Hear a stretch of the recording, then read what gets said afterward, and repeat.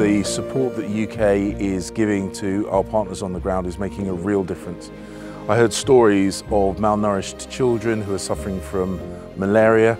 The malaria was being treated and they're recovering quickly from that and those children are now putting on weight and they are growing. So the, the money that the British taxpayers give, the work that UNICEF does, it is making a difference and that's why you have to keep going.